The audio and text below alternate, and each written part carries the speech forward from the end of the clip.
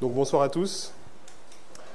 Alors j'aimerais, euh, avant de commencer, donc remercier euh, chacun d'entre vous, remercier donc le ministère LVS pour, euh, bah, pour votre accueil, déjà premièrement, et pour vraiment avoir fait en sorte que nous soyons, donc Jean-Marie et moi, vraiment dans les meilleures conditions possibles pour vous délivrer ce message. Voilà, donc merci à chacun d'entre vous et merci au ministère LVS. Donc j'entends un écho, c'est bon, vous m'entendez bien? Ok, très bien. Alors nous sommes euh, donc dans la deuxième présentation euh, de ce séminaire sur l'enseignement en parabole. Et ce qu'on va faire, c'est qu'on va continuer sur la même lancée euh, qu'hier. Alors je ne sais pas si tout le monde, tous ceux qui sont là aujourd'hui étaient présents hier. On va faire un petit résumé pour être sûr qu'on soit, soit sur la même, qu'on soit à la même page. Alors ce que j'ai dit hier, première chose, mon but ici, ce n'est pas de vous balancer des informations, mais c'est que on puisse chacun ici apprendre une méthode, une méthodologie de l'enseignement en parabole. Donc ce qu'on va faire pour cela, c'est qu'on va regarder, on va observer, on va analyser, on va modéliser, donc on va prendre des versets et on va regarder comment euh, ils sont faits en termes de structure. Et ce que euh, ça va produire, c'est que la Bible elle-même va parler, la Bible elle-même va nous enseigner, et ce n'est pas mon avis, ce n'est pas mon avis qui importe. D'accord? On va laisser la Bible parler ce soir. Alors qu'est-ce qu'on a vu hier? On a, commencé par euh, une citation qui était dans Parabole de Jésus, euh, page 11, paragraphe 1. Et qu'est-ce qu'on a vu dans cette citation? Le principe qui illustre la venue de Christ pour nous sauver et son enseignement sont la même chose. Euh, et on a vu que on partait toujours du naturel pour aller vers le spirituel, et c'était ce qu'on voyait dans l'enseignement en parabole. Ce qu'on a vu également, c'est qu'on a pris un exemple pratique. On est allé dans 1 Corinthiens 15. 1 Corinthiens 15, Paul nous parle de quoi? De la résurrection. Et qu'est-ce qu'il a fait? Il a utilisé l'enseignement en parabole. Lorsqu'on a vu cet enseignement en parabole, on a vu que Paul, qu'est-ce qu'il faisait? Il comparait et contrastait. Il nous disait, le corps est semé corruptible, il ressuscite incorruptible. Et après, il enchaînait comme ça différentes comparaisons et contrastes. Et on s'est rendu compte de quoi? Que ce principe de comparaison-contraste, il est au cœur même de Jésus-Christ, puisque Jésus-Christ s'est fait malédiction pour que nous ayons la bénédiction, et il s'est fait pauvre pour que nous soyons enrichis. Donc on voit que le principe de comparaison-contraste, en fait, il est au cœur même de l'Évangile. Qu'est-ce qu'on a vu après? On a vu que toutes les choses que Dieu a créées ont une application spirituelle. Et inversement, toutes les vérités spirituelles qu'on trouve dans la Bible sont illustrées euh, dans, la, nature. Et on a vu donc le principe du mariage, le principe du sabbat, et on a vu aussi d'autres exemples.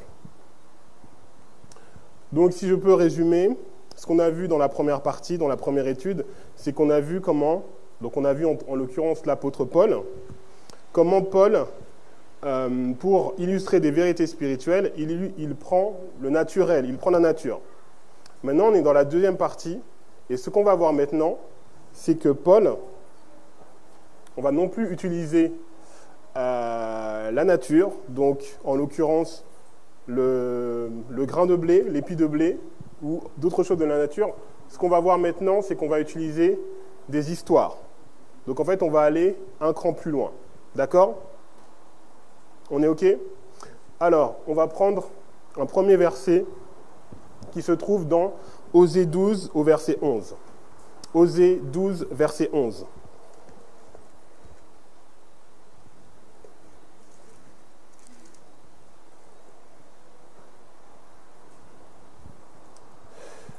Alors, je ne sais pas si, euh, en fonction des, des, versions de la Bible, ça peut être le verset 10. D'accord? Ça dépend en fait des différentes paginations. Donc moi, je suis dans la version second et en fait, c'est le verset 11. Osée 12, verset 11.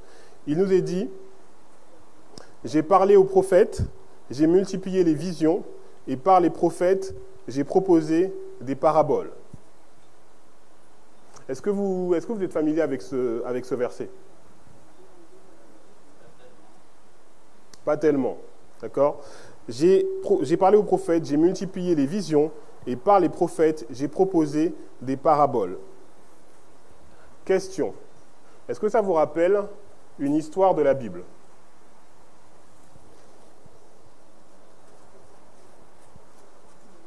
Non?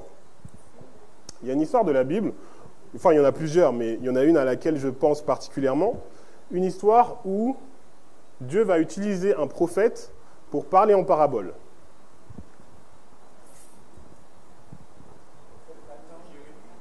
Ah.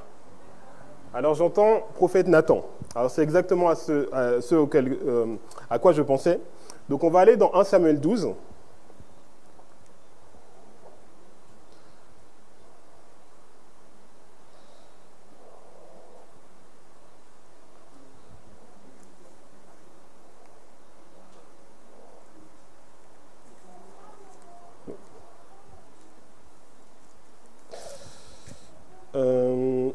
en fait, c'est 2 Samuel 12, pardon.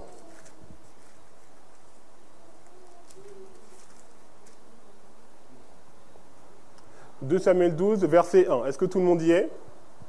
Oui? Ok. L'Éternel envoya Nathan vers David. Alors, si on connaît un petit peu le contexte, on sait pourquoi l'Éternel a envoyé Nathan vers David. Pourquoi il l'a envoyé vers David? David a péché, d'accord? Il a péché avec Bathsheba, et qu'est-ce que euh, Dieu va faire? Il va lui envoyer un prophète. Et le prophète, qu'est-ce qu'il va faire? Il va proposer une parabole. On est d'accord?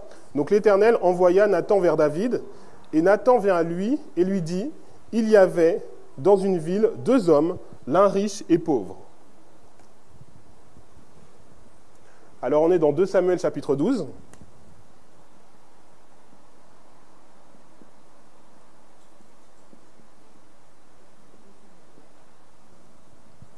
Et euh, donc, Nathan va donc parler en parabole.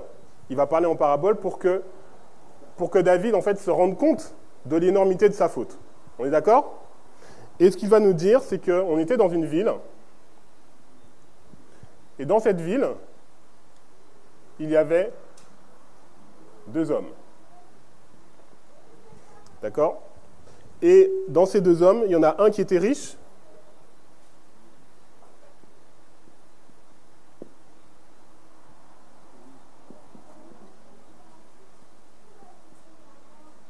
et un autre qui était pauvre. Alors ce qu'on va voir maintenant, c'est que il y a plusieurs, y a plusieurs dimensions dans le concept de parabole. Ici, ce qu'on a, c'est qu'on a une histoire fictive qui est racontée, et cette histoire, elle est là pour illustrer une expérience.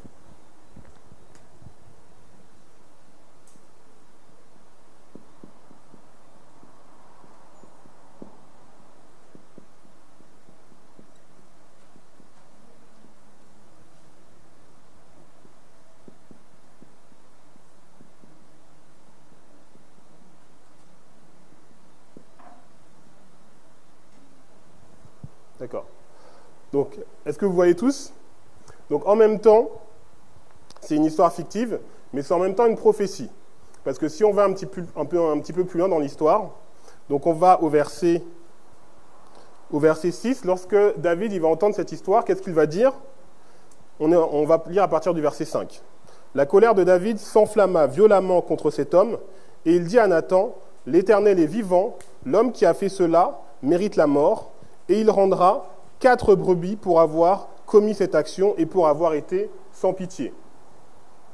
Euh, Eric, tu peux me mettre le...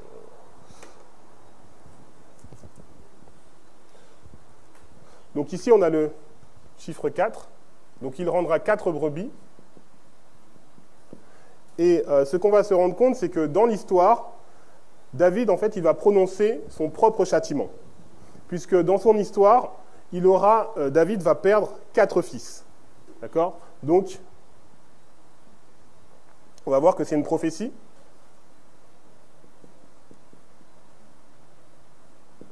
Et que ça représente le fait que David, donc, il va perdre quatre fils.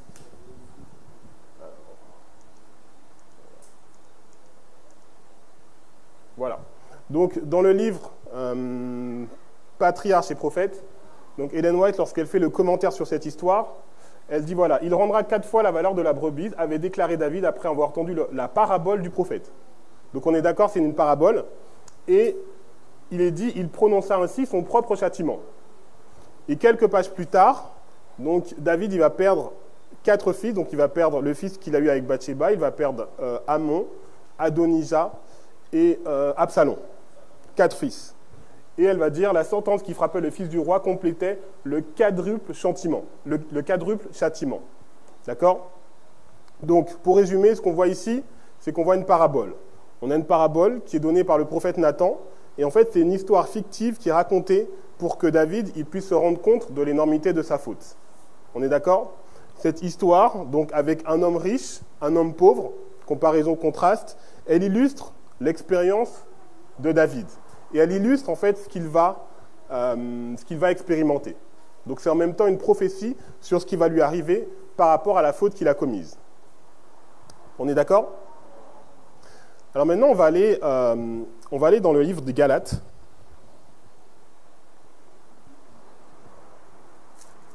On va aller dans Galates chapitre 4.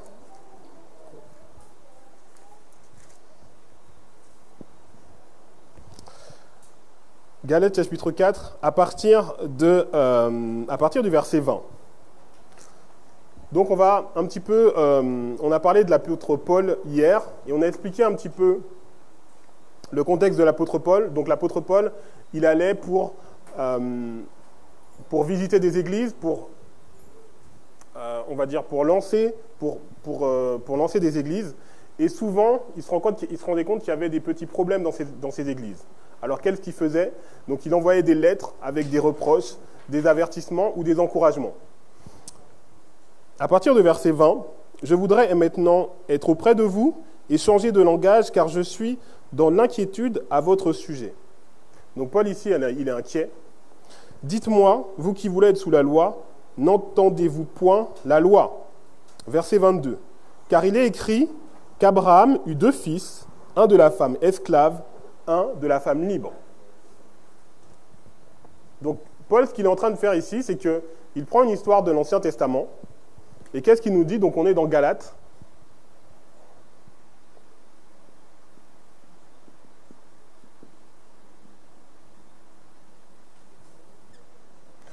Donc il nous dit qu'il y avait Abraham et que Abraham, il avait, il avait deux fils. On va continuer. Il y en avait un qui venait de la femme esclave et un qui venait de la femme libre. Qu'est-ce que, qu'est-ce que déjà, à partir d'ici, vous pouvez me dire? Qu'est-ce que vous voyez Qu'est-ce que vous comprenez? Alors, on va attendre que le micro arrive.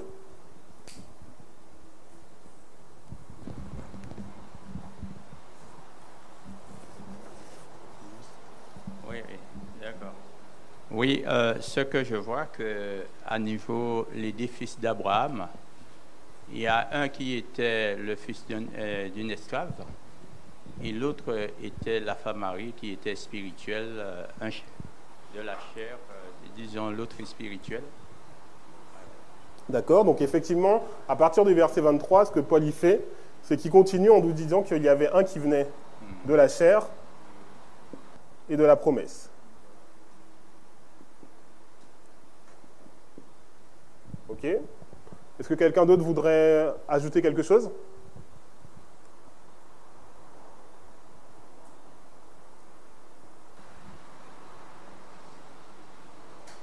Alors on va continuer. À partir de... Ouais. Merci. Il me semble qu'il y en a un qui représente l'enfant de la promesse hmm. et l'autre non, il me semble. Alors c'est ce qu'on a, mis, ce qu'on a mis ici, donc il y en a un qui vient de la chair et un qui vient de la, un qui vient de la promesse. Alors si, lorsqu'on continue à partir du verset 24, qu'est-ce que nous dit Paul? Ces choses sont quoi? Ces choses sont allégoriques. Donc ce qu'il est en train de nous dire ici, c'est que ici, là, on a une parabole. Mais maintenant, j'aimerais que vous, prêtiez vraiment attention. Parce que dans le premier exemple que je vous ai donné, on avait une histoire fictive qui était une parabole, donc c'était la parabole de Nathan. Donc cette histoire fictive, elle était là pour, pour illustrer une expérience. Maintenant, qu'est-ce qu'on a ici? On n'a plus une histoire fictive, on a une histoire, on a une histoire réelle.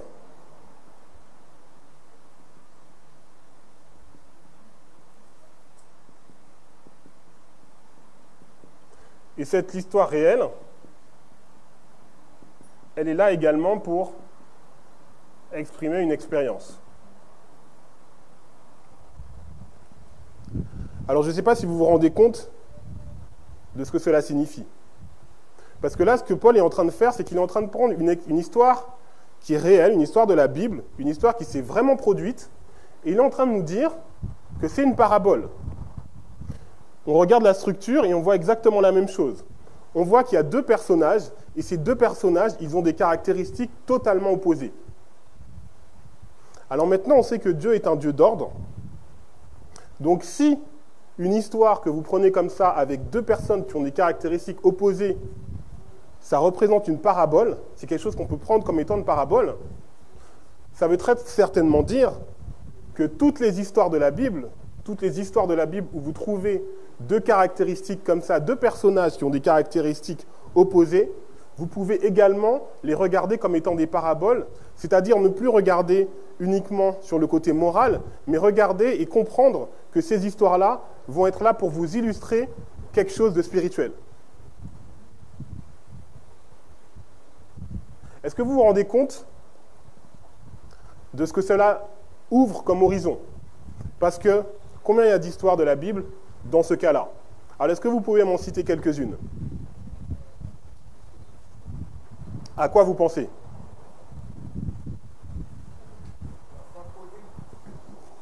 Donc j'entends l'enfant prodigue. Le publicain. Très bien. Alors il y en a beaucoup. Il y a Cain et Abel, par exemple. Il y a Ésaü et Jacob. D'accord? Donc on voit toujours deux personnages qui ont des caractéristiques totalement opposées. Je pense par exemple à Nabal et Abigail, d'accord? Donc qui ont eu deux, euh, comment dire, deux réactions totalement opposées lorsqu'ils ont vu qui ça David, d'accord? Donc Nabal qui était fou, qui était avare, et Abigail, elle qui était au contraire intelligente, belle de figure, et elle qui va totalement changer de réaction lorsqu'elle va voir David. Saül et David, exactement. Je pense à une autre histoire euh, qui me vient en tête. C'est l'histoire de Marthe et Marie. Parce que Marthe et Marie, est-ce qu'on voit la même chose? On voit deux sœurs, deux sœurs, il y a Jésus qui arrive, et ces deux sœurs, elles vont avoir une relation, enfin, une, réaction, pardon, totalement différente. Et euh, cette histoire, vous avez deux façons de la voir. Souvent, lorsque on évoque cette histoire, euh, qu'on soit à l'église ou qu'on soit dans une étude biblique, souvent on va rester sur le côté moral. Donc on va dire, ah oui, Marthe, euh, bah Marthe, elle, a bien fait, puisqu'il fallait bien qu'on donne, fallait bien donner à manger, il fallait bien faire à manger, il fallait bien s'occuper de Jésus arrivé, il fallait bien faire quelque chose. Donc en fait, on reste sur le côté moral. Est-ce que vous pensez que c'est ça que la Bible veut, nous enseigner? Puisque euh, on n'a pas besoin d'avoir la Bible. Dans toutes les cultures, dans toutes les traditions du monde, on sait que lorsque quelqu'un vient, euh, on est censé lui faire à manger. D'accord? Donc l'enseignement va bien au-delà de ça. Donc là, on voit deux femmes, deux femmes qu'on compare et contraste, qui vont avoir euh, une réaction totalement différente. Et qu'est-ce que Jésus va dire euh, à la fin? Marie?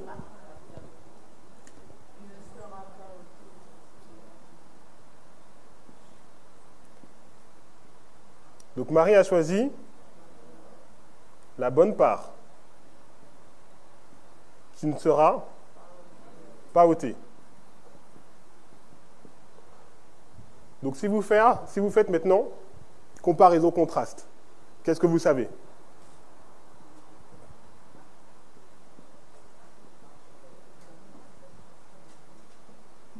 Hmm. Donc, évidemment, donc Marthe n'a pas choisi la bonne part,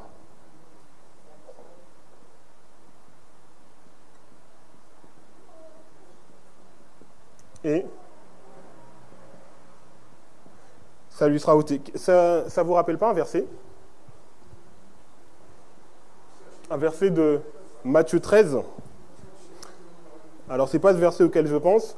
Alors, on va aller dans Matthieu 13. Matthieu chapitre 13. Je vais vous faire une confidence.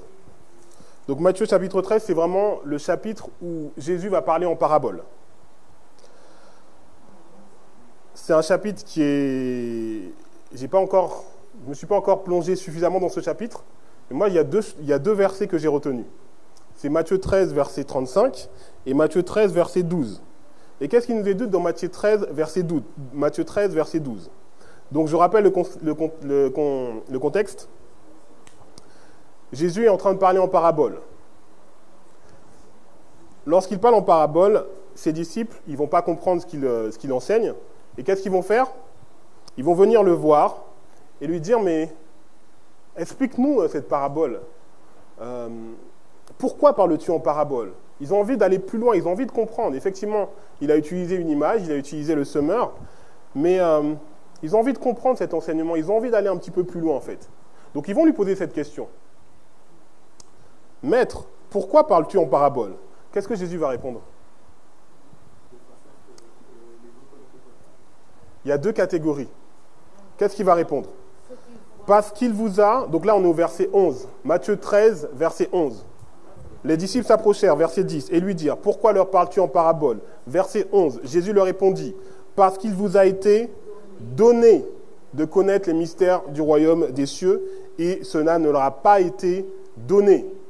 Verset 13, qu'est-ce qu'il dit? Verset 12, car on donnera à celui qui a, il sera dans l'abondance, mais à celui qui n'a pas, on ôtera même ce qu'il a. Donc ces disciples qui viennent, on donnera à celui qui...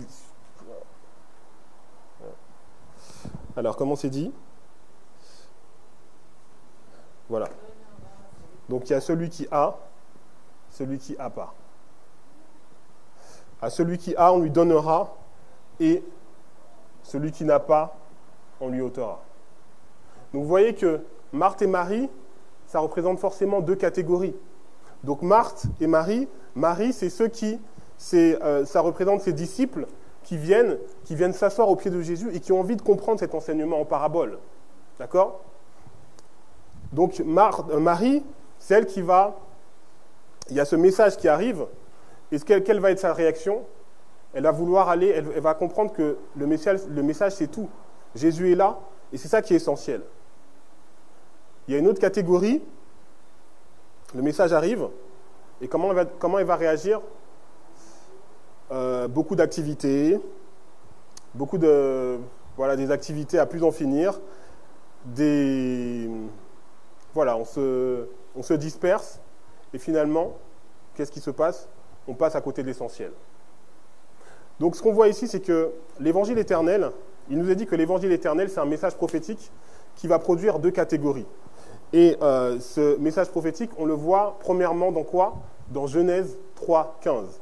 D'accord? Je mettrai une inimitié entre ta postérité et sa postérité. Dès le départ, il y a deux postérités qui vont être montrées. Et en fait, ce qu'on va se rendre compte, c'est que à travers la Bible, dans chacune de ces histoires, en réalité, c'est toujours les deux mêmes postérités qui sont, euh, présentées. Donc que ce soit Cain et Abel, que ce soit les vierges folles, les vierges sages, que ce soit, comme on a vu, euh, Isaac ou euh, Ismaël, l'enfant libre ou l'enfant de la promesse, en réalité c'est toujours les mêmes, les mêmes catégories, les mêmes deux catégories qui sont illustrées. Donc on va retourner dans Galates chapitre 4. Et qu'est-ce qui nous est dit? Donc on revient sur notre comparaison. Verset 24. Ces choses sont allégoriques. Ces choses sont allégoriques car ces deux femmes, ce sont deux alliances. Donc là, on comprend en fait. On comprend que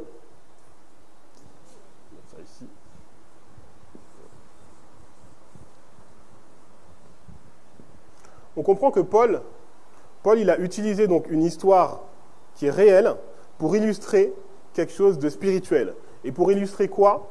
Pour illustrer les alliances.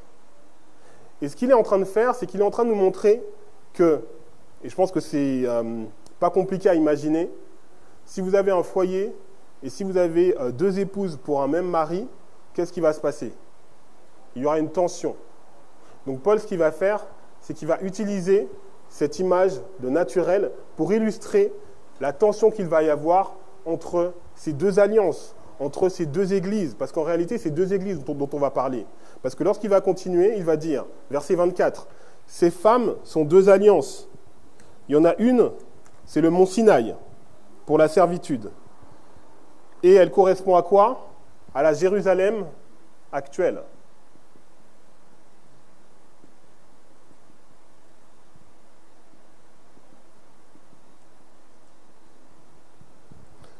Et l'autre, donc forcément, comparaison, contraste, l'autre, elle correspond à quoi? À la Jérusalem céleste.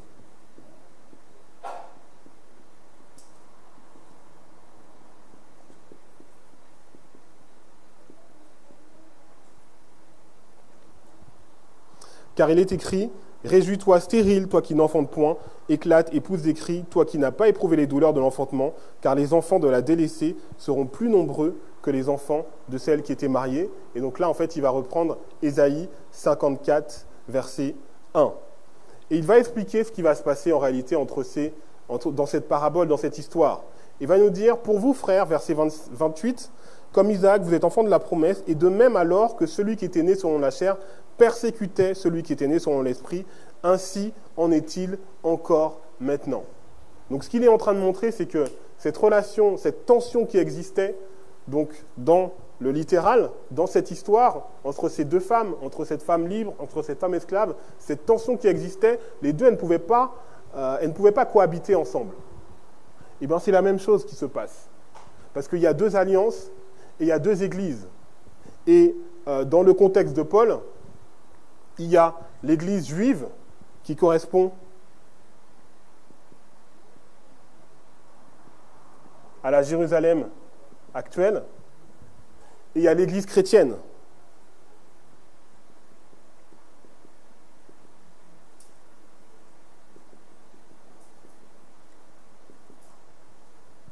D'accord? Et ce qu'il va faire, c'est qu'il va prendre donc cette prophétie d'Ésaïe et il va nous dire que celle qui est stérile, qu'est-ce qu'elle doit faire? Elle doit se réjouir. Donc, si on continue, comparaison, contraste, donc s'il y en a une qui est stérile, c'est qu'il y en a une qui est féconde. Et s'il y en a une qui est mariée, c'est qu'il y en a une qui est délaissée. Comparaison, contraste. Et ce qu'il est en train de nous dire, c'est que il y, en a une, il y a une église qui était mariée et c'était les juifs. L'église juive, elle était mariée, c'était l'église officielle, elle était euh, en alliance avec Dieu. Et il y avait une église qui était délaissée, puisque c'était ses, euh, disciples qui euh, étaient là, qui n'étaient pas euh, recommandés et qui étaient, qui étaient des moins que rien à l'époque, qui n'étaient pas considérés. Et donc, qu'est-ce que nous dit la prophétie? Elle nous dit que c'est la délaissée qui aura plus d'enfants que celle qui était mariée. Puisque le véritable travail évangélique, de porter le message de l'évangile dans le monde, ce n'est pas la femme mariée qui va la faire, mais c'est la femme qui était délaissée, c'est la stérile. D'accord?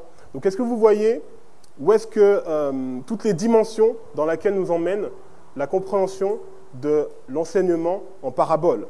On peut voir des choses qu'on n'aurait pas pu voir auparavant lorsqu'on fait la comparaison et contraste. Et euh, ce que ça nous permet de voir, c'est aussi le danger qu'il y a euh, à rester uniquement sur l'aspect moral puisqu'on aurait très bien pu prendre cette histoire et faire, faire une application morale. Dire que, effectivement, pour l'équilibre d'un foyer, euh, c'est pas bien d'avoir deux femmes, vaut mieux en avoir une. Mais ça, euh, on n'a pas besoin d'avoir la Bible pour le savoir, puisque même les gens qui n'ont pas la Bible, ils le. Ils le savent. La véritable explication, la véritable explication de cette prophétie, c'était pour nous montrer, pour illustrer, à travers les exemples de ces deux femmes, enseignement en parabole, ce que serait la tension qui existerait entre cette Église qui est mariée et cette Église qui est délaissée mais qui va prendre sa place. D'accord? Et en fait, on voit que Paul, ce qu'il fait ici, c'est qu'il parle en parabole. Et euh, donc, il parle en parabole sur ce sujet des alliances. Et on va aller dans Hébreu. On va aller dans, dans, Hébreu chapitre 12.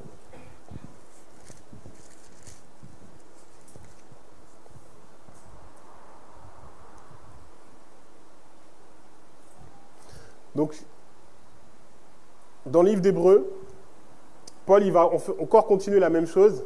Il va parler en parabole. Et il va toujours illustrer ce même sujet, le même sujet des alliances.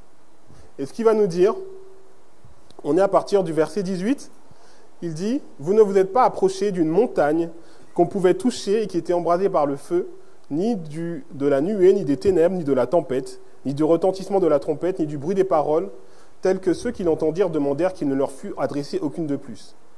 Il est en train de parler de quoi là? De quelle montagne parle-t-il? Il est en train de parler du mont Sinaï.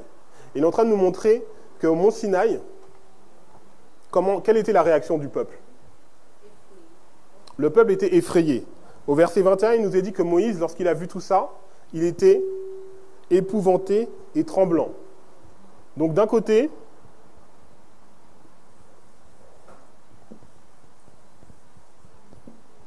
on a le mont Sinaï. Donc si on a le mont Sinaï d'un côté, comparaison contraste, qu'est-ce qu'on aura de l'autre? La montagne de Sion. Verset 22, mais vous vous êtes approchés de quoi? De la montagne de Sion. De la montagne Sion, de la cité du Dieu vivant, de la Jérusalem céleste. Donc vous voyez qu'il est en train de reprendre les mêmes symboles qu'il avait pris ici. C'est le même sujet qu'il est en train de traiter. Sauf que là, il veut montrer les deux alliances, mais il veut nous montrer que au mont Sinaï, le peuple il était effrayé. Le peuple il a eu de la crainte parce qu'il a vu quoi? Il a vu la sainteté de Dieu. Et ce qu'il va nous dire, c'est qu'il va nous dire qu'ici au mont Sinaï, qu'est-ce qui a été ébranlé? C'est la terre. Donc c'est la montagne évidemment, mais c'est la terre qui a été ébranlée.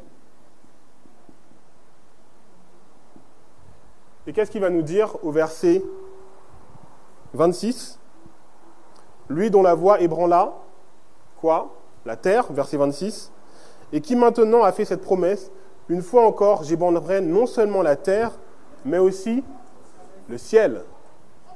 Comparaison, contraste.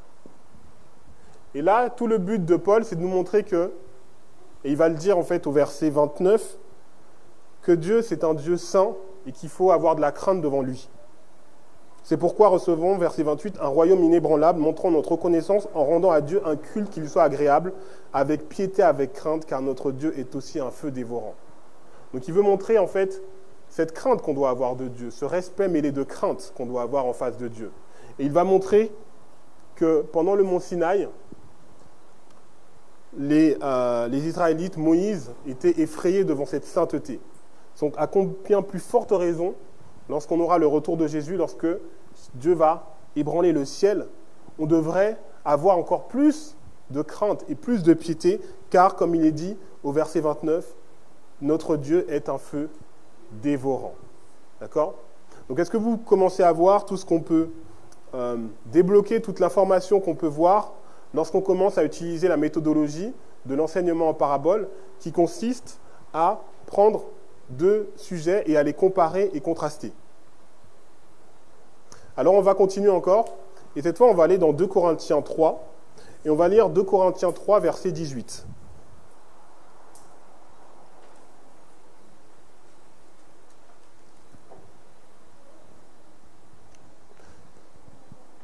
Tout le monde y est? 2 Corinthiens 3, verset 18. Nous tous qui le visage découvert, contemplons comme dans un miroir la gloire du Seigneur, nous sommes transformés en la même image, de gloire en gloire, comme par le Seigneur l'Esprit. Je suppose que chacun d'entre nous ici, on est, on est familier avec ce verset. Oui C'est un verset qu'on a lu, entendu, relu. Qu'est-ce qu'il est en train de nous dire ce verset? Comment vous, qu'est-ce que vous comprenez?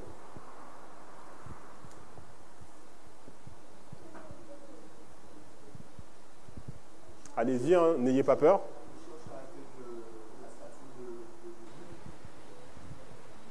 Oui. L'image de Jésus, très bien. Quoi d'autre?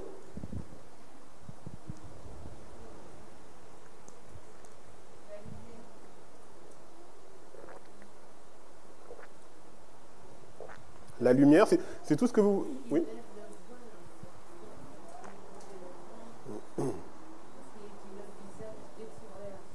Donc ma soeur a noté quelque chose d'intéressant, c'est que on nous parle de, lever un voile. Parce qu'on nous parle de visage découvert. D'accord? Très bien. Qu'est-ce que vous voyez d'autre? Donc effectivement, euh, c'est ce qu'on appelle euh, la, comment dire, le processus de, enfin la loi de la contemplation, c'est qu'on est transformé à l'image de ce que l'on contemple. Donc c'est quelque chose, c'est quelque chose qui est connu. Si vous, si vous commencez à contempler quelque chose de mauvais, vous serez forcément transformé à cette ressemblance-là. D'accord? Et là, on nous dit qu'il faut contempler le visage découvert. Euh, effectivement, je comprends que si on regarde dans un miroir avec le visage couvert, parce que le, miroir nous renvoie, nous renvoie une, information. D'accord? Donc, en réalité, comment, on est? Donc, effectivement, si vous regardez dans un miroir avec un voile, euh, ça ne sert à rien. Vous n'aurez, vous n'allez rien voir. Et en l'occurrence ici, on nous parle de contempler la gloire du Seigneur dans ce miroir. D'accord? Donc il y a un processus qui est en train de se mettre en place et on contemple cette gloire et on est transformé. Et on est transformé de gloire en gloire. Qu'est-ce que vous voyez d'autre dans ce verset? Vous voyez, le, le problème qu'on a souvent, c'est que en réalité, on, prend, on, prend, il y a des versets comme ça qu'on prend, mais en fait, on n'est jamais allé, euh, on n'a pas lu tout le chapitre en fait. On s'est jamais intéressé à ce que euh, disait le reste du chapitre. Et comme ce verset, en fait, il est, euh, c'est une conclusion. C'est le dernier verset du chapitre. Donc, il, serait, il, serait, il serait intéressant de, de regarder, de, partir à partir du verset 1 et de regarder tout le cheminement. En fait, c'est ce qu'on a fait hier lorsqu'on allait dans Corinthiens 15. On est parti du verset 1 et on a regardé tout le cheminement. D'accord? Et on voit qu'il y a une logique. On voit que Paul, il a toujours une méthode. D'accord? Donc moi, ce que je vais vous proposer, c'est qu'on va faire la même chose. On va partir du verset 1 et on va euh, essayer de comprendre la méthode que Paul utilise. Verset 1. Commençons-nous de nouveau à nous recommander nous-mêmes? Ou avons-nous besoin, comme quelques-uns, de lettres de recommandation auprès de vous ou de votre part? Alors là, on commence à comprendre. Donc, Paul, il a un ministère, et euh, il y a certains ministères, des fois, ils ne sont pas vus d'un très, bon, très œil. D'accord? Et euh, comme les gens sont souvent un petit peu méfiants, qu'est-ce qu'ils demandent?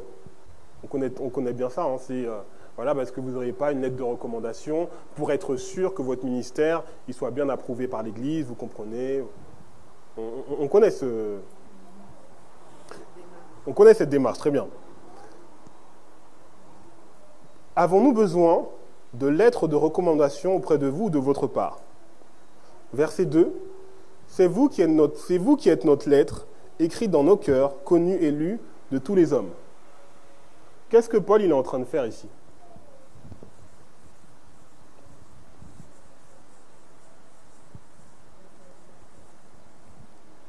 Paul il dit, vous êtes en train de, voilà, vous êtes en train de, de mettre en doute mon ministère.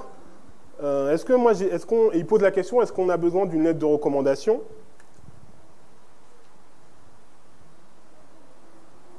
Voilà. Donc cette lettre. Et qu'est-ce qu'il répond au verset 2 Il dit, c'est vous la lettre.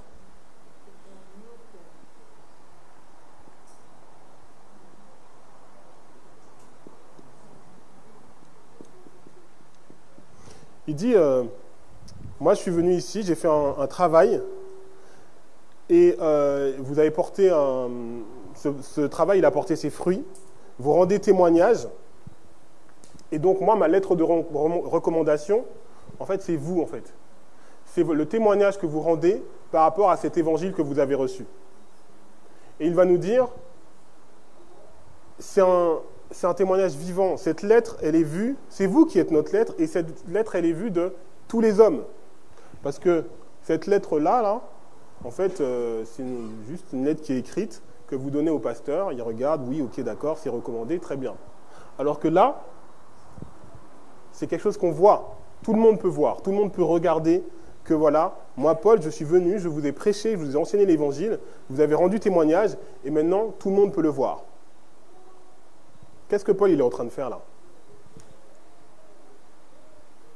Paul il est en train de parler en parabole. Paul il commence à parler en parabole.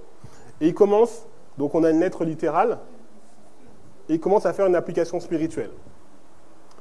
Je ne sais pas si vous avez remarqué, mais lorsqu'on rentre dans la méthodologie en parabole, je ne sais pas si vous avez remarqué, mais depuis hier, on commence par faire du littéral, du spirituel.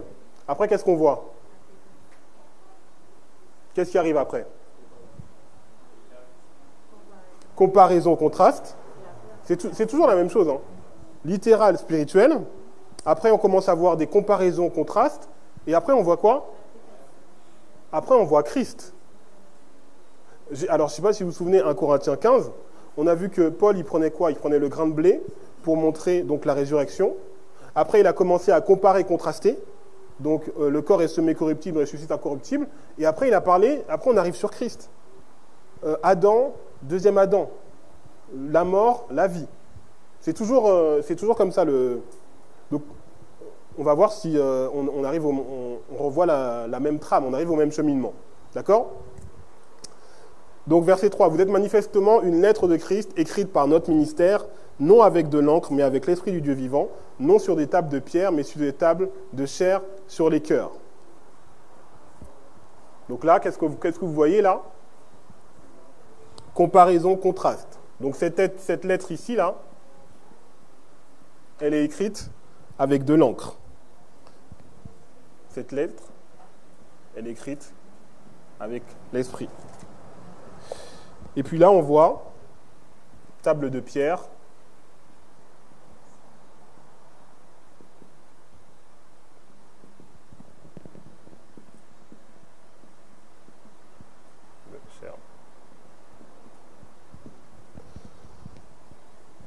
Ça vous rappelle rien? Table de pierre, table de chair.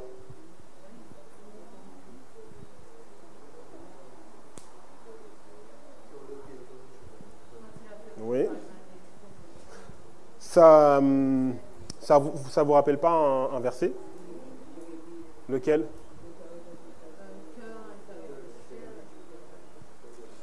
Jérémie 31. Jérémie 31, c'est quel verset? Jérémie 31, verset 31. Voici, les jours viennent, dit l'Éternel, où je ferai avec la maison d'Israël, la maison de Juda, une alliance Nouvelle, non comme l'alliance que je traitais avec leur père le jour où je les saisis par la main pour les faire sortir du pays d'Égypte, alliance qu'ils ont violée, quoique je fusse leur maître, dit l'Éternel.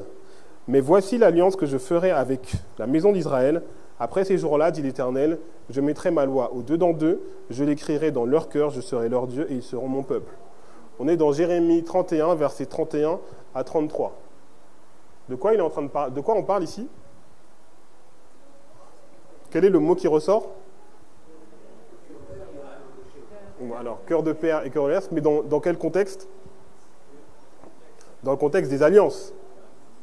Je ferai avec la maison d'Israël une alliance nouvelle. Donc, est-ce que vous êtes en train de voir Vous voyez, Paul, il va, il va y aller progressivement. Donc, progressivement, il va commencer à rajouter des choses. Et après, on va arriver à 2 Corinthiens 3, 18 qui nous dit Nous tous qui le visage découvert, contemplons mais avant d'arriver là, il y a un processus. Donc là, ce qui commence à être introduit, c'est quoi? C'est la notion d'alliance, d'accord? Et euh, donc voilà, il est en train d'expliquer, donc par rapport à cette lettre, et il nous dit, verset 5, ce n'est pas à dire que nous soyons par nous-mêmes capables de concevoir quelque chose comme venant de nous-mêmes. Notre capacité, au contraire, vient de Dieu.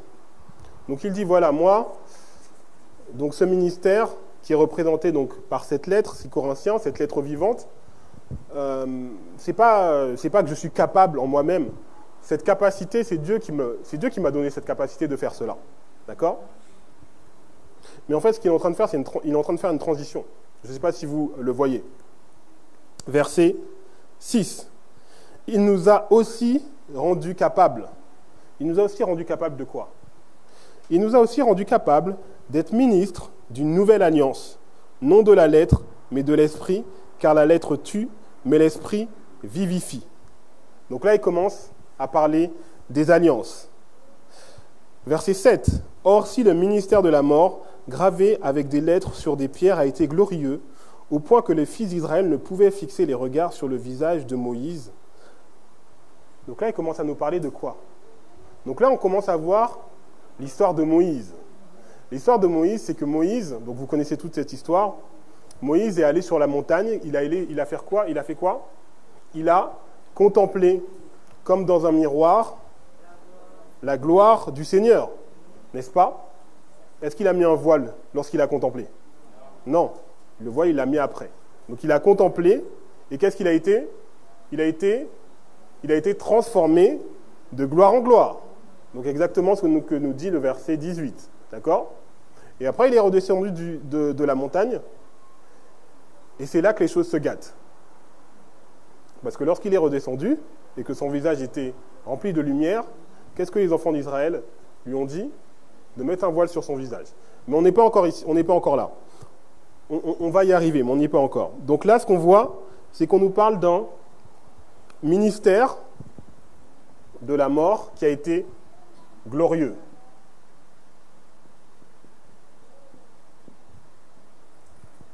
Donc on commence à voir que là, il nous parle des alliances. Vous avez vu que Paul, il a utilisé la, Paul, il a parlé des alliances dans Galates et il a utilisé deux femmes. Une femme libre, une femme esclave. Enseignement en parabole. Parce qu'il voulait montrer quoi? Il voulait montrer la tension qui existait entre euh, la tension qui existait entre ces deux alliances et deux églises, qui allaient représenter deux églises. D'accord? Après, on allait dans l'épître aux Hébreux. Et en fait, il voulait nous montrer quoi? Il voulait nous montrer que on doit rendre notre culte à Dieu avec crainte. Donc il, a utilisé deux montagnes. Il a utilisé le mont Sinaï, comparaison contraste, mont, mont Sinaï et la montagne de Sion, pour nous montrer que la montagne, le mont Sinaï a été ébranlé, tout le monde était dans la crainte, pour nous montrer à quel point on doit avoir cette crainte de Dieu. Donc il a utilisé deux femmes, enseignement en parabole, deux montagnes. Et là, qu'est-ce qu'il est en train d'utiliser Table de pierre, table de chair. Mais là, ce qu'il veut nous montrer, c'est la gloire. Il veut nous montrer que la deuxième alliance, elle est plus glorieuse que la première. Pourquoi? Parce que la première...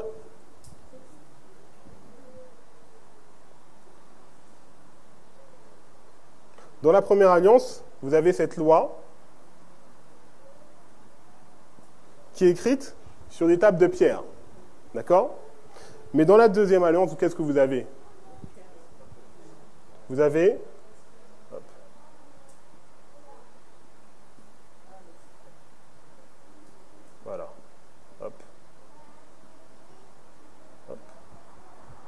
cette loi, elle est écrite sur les cœurs. Et donc, ça va être des, hommes et des femmes. Ça va être des hommes et des femmes qui vont avoir cette loi écrite sur les cœurs et qui vont aller de par le monde et qui vont être vus de tous les hommes. D'accord? Donc c'est beaucoup plus glorieux. D'accord? C'est exactement la même chose avec cette lettre de recommandation. Cette lettre de recommandation, que vous envoyez au pasteur, qu'il voit. Et là, vous avez les Corinthiens qui sont la lettre. On voit le témoignage, cette lettre est lue de tous les hommes. Là, c'est exactement la même chose. C'est le même enseignement qui est donné. Vous avez cette loi qui est écrite sur des tables, mais là, qu'est-ce que fait le Saint-Esprit?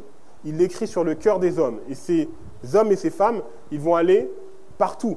D'accord? Donc c'est beaucoup plus glorieux. Et c'est ce qu'il va dire au verset 10. Euh, et sous ce rapport, alors, verset 9, si le ministère de la condamnation a été glorieux, donc ici, le ministère de la justice est de beaucoup supérieur en gloire, et sous ce rapport, ce qui, a été glorieux ne l'a point été à cause de cette gloire qui lui est supérieure. En effet, ce qui, si ce qui était passager a été glorieux, ce qui est permanent est bien plus glorieux. Faites attention aux termes. Faites attention aux termes. Qu'est-ce qui nous est dit ici? Ce qui était passager. Ce qui était passager était glorieux. Ce qui est permanent.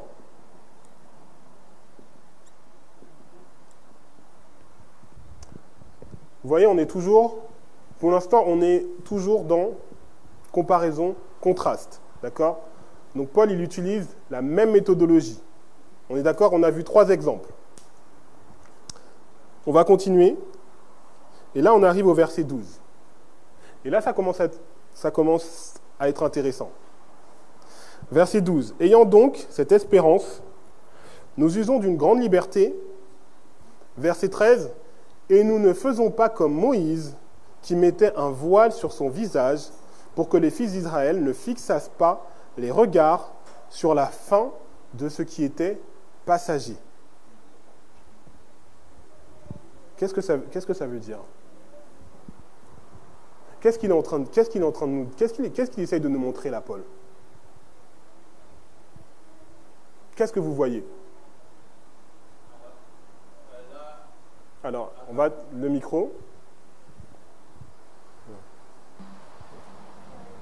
Oui, euh, là, il nous parle de Moïse lorsqu'il est, sorti euh, vers Dieu pour aller vers le peuple.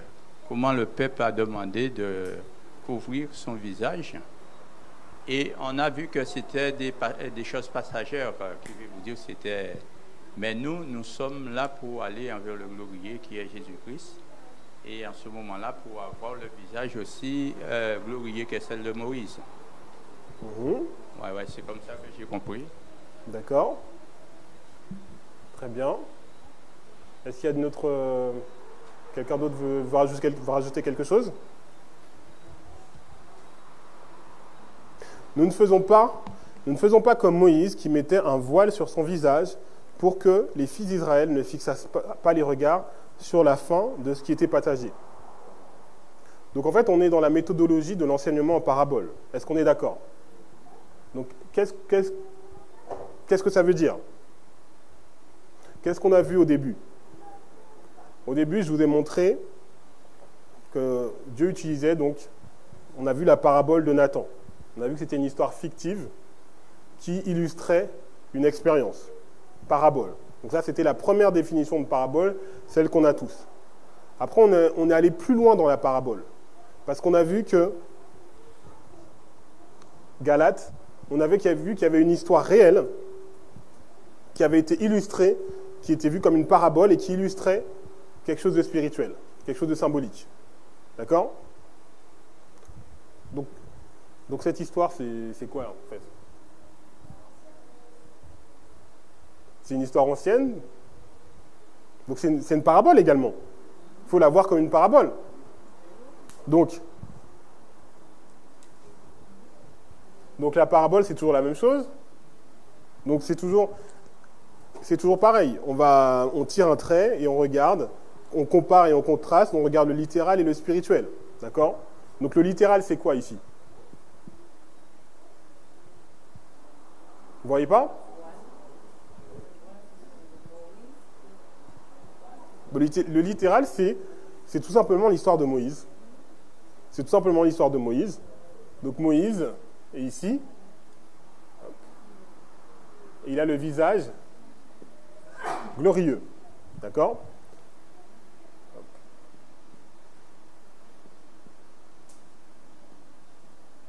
Et lorsqu'il descend, donc lorsqu'il descend de la montagne, on lui demande de mettre un voile sur son visage. D'accord? Il est dit euh, qu'il mettait un voile sur son visage pour que les fils d'Israël ne fixassent pas les regards sur la fin de ce qui était passager. C'est quoi la fin de ce qui était passager?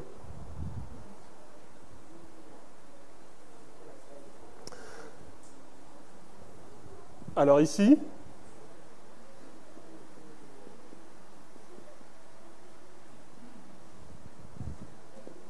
c'est le littéral. Donc ça veut dire que cette histoire, donc cette parabole, est là pour illustrer quelque chose.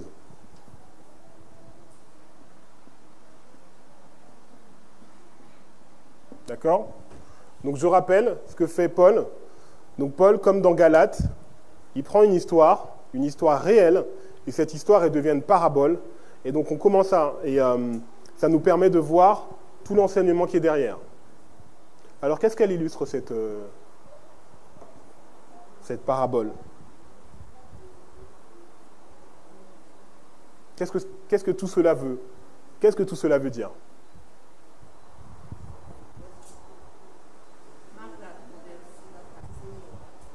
Oui?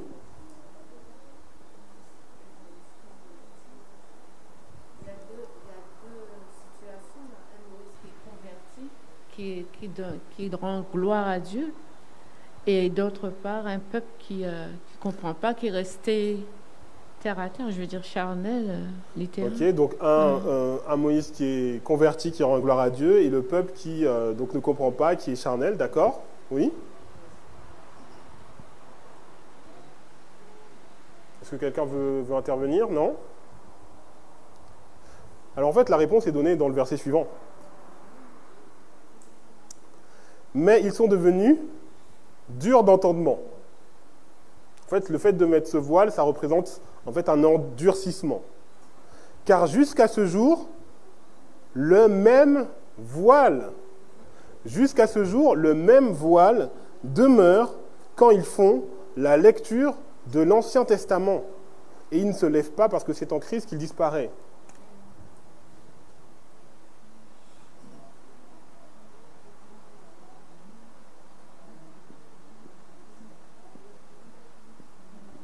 Donc ça, c'est l'Ancien Testament.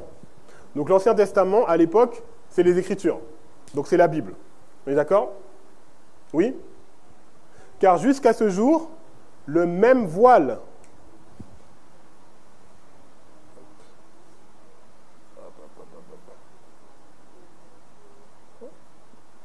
D'accord?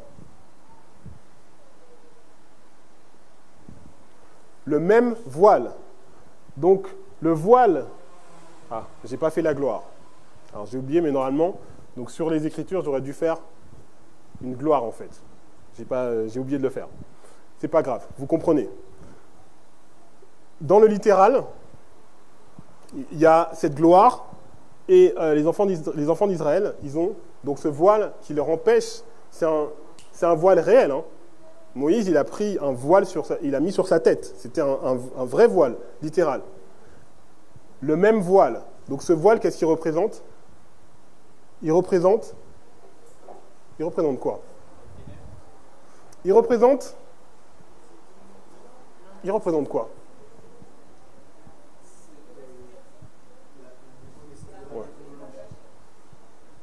Le frère a dit, euh, euh, le frère a dit la méconnaissance de la méthodologie. Euh, j'aime bien cette réponse. Et au fond, c'est les idées reçues, ouais. J'aime bien cette réponse, la méconnaissance de la méthodologie. Est-ce qu'on peut, est qu'on peut développer un petit peu? Parce que, parce que, il faut qu'on comprenne, hein. les enfants d'Israël, euh, ils, lisaient ils lisaient les Écritures, ils lisaient l'Ancien Testament. Il y avait des spécialistes de l'Ancien Testament, il y avait des docteurs de la loi. Mais, qu'est-ce que nous dit la Bible? Le même voile. Il y avait un, spirituellement, symboliquement, il y avait un voile. C'est-à-dire que dans la façon de lire, il y a quelque chose qui n'allait pas en réalité. Quand il y a un voile, c'est que il y a quelque chose qu'on ne voit pas. La réponse est dans le verset. On va relire le verset. Il faut que vous voyez ça. faut que vous voyez ça. Ayons donc cette, cette espérance, nous usons d'une grande liberté. Nous ne faisons pas comme Moïse, qui mettait un voile sur son visage. On, va, dire pourquoi il met un voile sur son visage. Donc déjà parce que les enfants d'Israël euh, lui ont demandé, pour que les enfants d'Israël ne fixassent pas les regards sur la fin de ce qui était passager. C'est quoi la fin de ce qui était passager?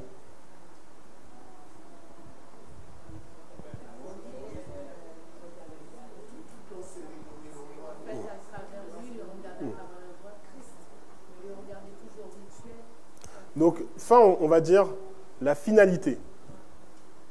Vous voyez là? Passager, permanent. Finalité, passager. Euh, pour que ce soit plus clair, je vais mettre, euh, je vais mettre agneau. D'accord? Donc je vais mettre agneau, qui était euh, donc l'Israélite, il a péché, euh, il va sacrifier un agneau, donc ça c'est ce qui était passager. Ça, ça, ça devait durer jusqu'à un certain temps. D'accord? Et le permanent c'est quoi? C'est Christ. D'accord Donc c'est la fin. La fin de ce qui était passager.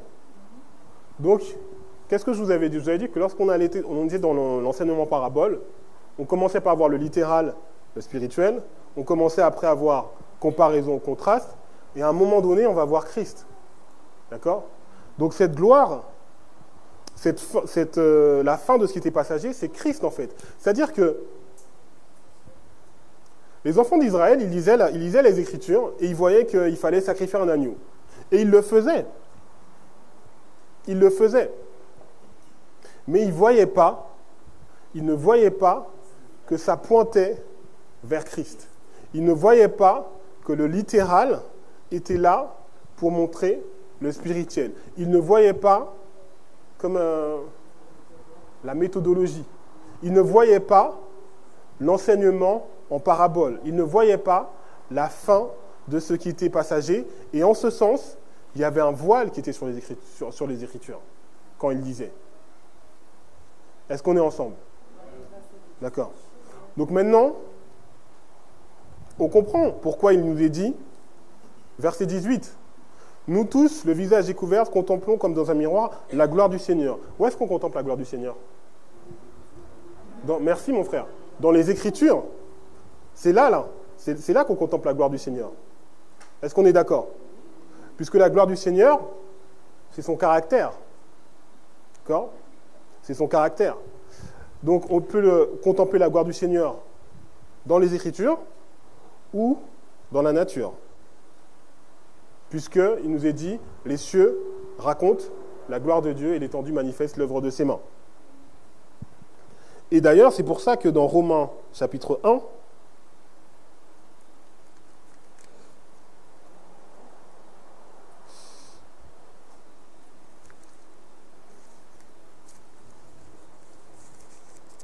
Quel verset?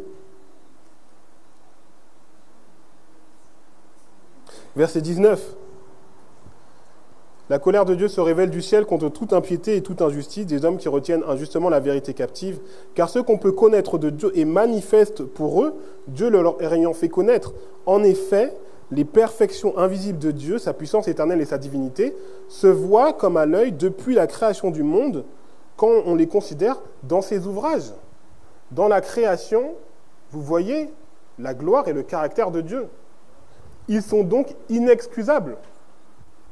Ils sont donc inexcusables, puisque la nature est un reflet de la gloire de Dieu. Donc ils sont donc inexcusables, puisqu'ils n'ont pas vu, ils n'ont pas vu cette, n'ont pas vu cette gloire. Donc la gloire de Dieu, vous la voyez dans la création ou dans les Écritures. Donc on va revenir sur notre verset. Donc maintenant, est-ce que vous comprenez pourquoi Pourquoi il dit euh, le visage découvert? Parce que Moïse, lui, quand il a contemplé la gloire, il avait le visage, il avait le visage découvert sur la montagne. Mais les enfants d'Israël, eux, comme il y avait ce voile, en fait, ils avaient un voile. Donc eux avaient le visage couvert. Donc en fait, la transformation qui aurait dû se produire ne s'est pas produite. D'accord? Donc nous tous, qui le visage découvert, contemplons dans un miroir la gloire du Seigneur. Donc nous, si nous voulons avoir ce processus de transformation, il ne faut pas qu'il y ait ce voile. Mais maintenant, nous, aujourd'hui, on sait que l'agneau représentait Christ. On le sait. Est-ce que ça veut dire pour autant que le voile est ôté? Est-ce qu'on peut toujours être là en lisant les Écritures et toujours avoir ce voile? C'est-à-dire que lorsqu'il y a ce voile, vous voyez qu'il y y a toute une partie de l'information, toute une partie de l'information qui, qui vous échappe. C'est un peu, si on pourrait euh, l'illustrer,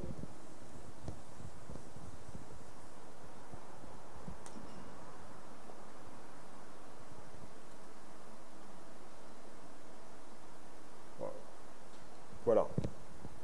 Genre, c'est une illustration que j'ai trouvée, je ne sais pas si ça va vous parler, mais c'est euh, là, vous avez la mer et vous avez un iceberg.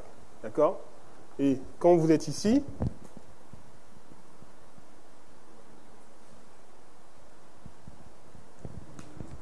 donc effectivement, il y, y a ça que vous voyez, mais en réalité, il y a toute cette profondeur qui est en dessous.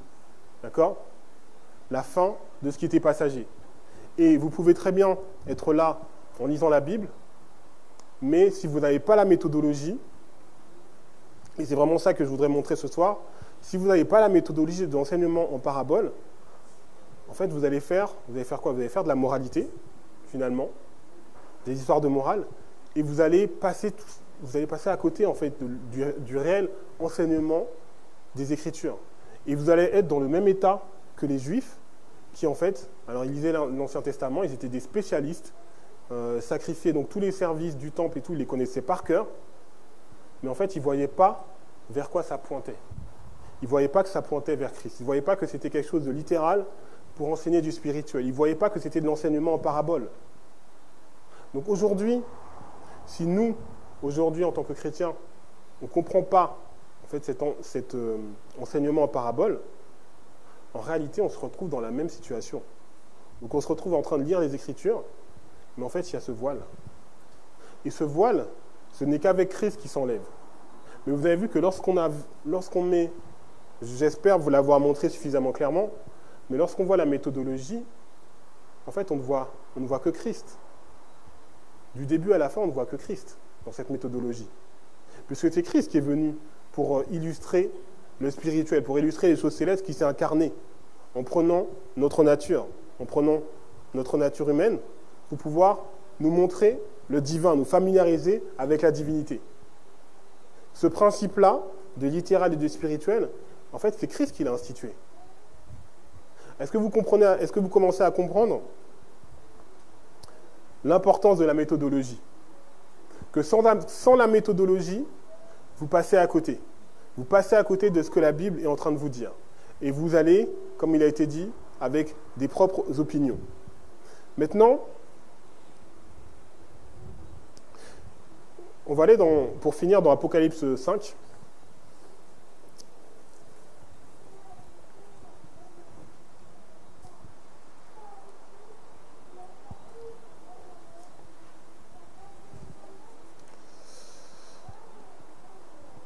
Donc souvenez-vous dans, dans 2 Corinthiens 3, verset 18, donc on a vu cette gloire, on a vu que on doit contempler les Écritures comment? Le visage découvert, avec, sans, le, voile, et donc avec la bonne méthodologie. La méthodologie qui vient, euh, la méthodologie du ciel, en, en fait. J'ai pas d'autre mot pour, euh, pour la méthodologie du ciel. C'est cette méthodologie qui peut nous permettre de voir vraiment les Écritures.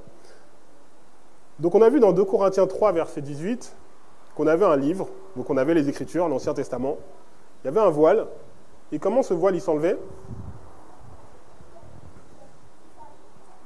Ce n'est qu'en Christ qu'il disparaît, c'est ça qu'il dit hein, dans le verset. Ce n'est qu'en Christ qu'il disparaît. Donc vous avez les Écritures, l'Ancien Testament, il y avait un voile, et ce voile disparaît qu'avec Christ. Maintenant, lorsqu'on va dans Apocalypse chapitre 5, vous voyez un livre aussi, et ce livre, il est scellé, il est voilé. C'est un autre mot pour dire voilé, c'est-à-dire qu'en tout cas, on ne peut pas, on peut pas l'ouvrir, on ne peut pas euh, y accéder. Comment le livre va être dévoilé ou décellé? On va lire verset 4. Et je pleurais beaucoup de ce que personne ne fut trouvé digne d'ouvrir le livre ni de le regarder. Et l'un des vieillards me dit Ne pleure point. Voici, voici le lion de la tribu de Judas, le rejeton de David, a vaincu pour ouvrir le livre, et c'est cette sceau.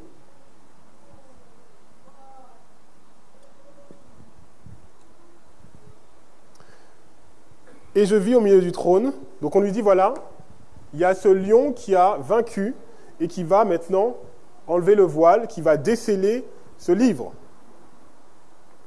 Et je vis au milieu du trône et des quatre êtres, euh, vivants et au milieu des veillards, un quoi? Un agneau.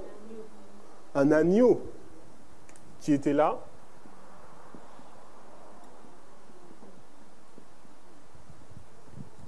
Un agneau qui était là comme immolé.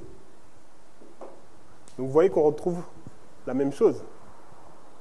Comparaison, contraste, agneau, lion, agneau, sacrifice, faiblesse, lion, toute puissance.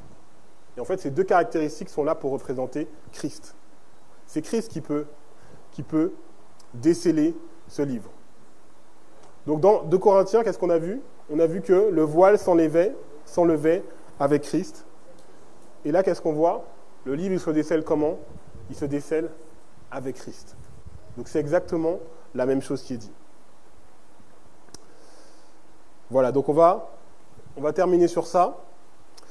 Euh, donc la prochaine fois, on va en fait, euh, donc la prochaine étude, on va aller encore un peu plus loin dans ce concept euh, de l'enseignement en parabole. Ce qu'on va rajouter, c'est on va rajouter la notion de temps. D'accord? Prions.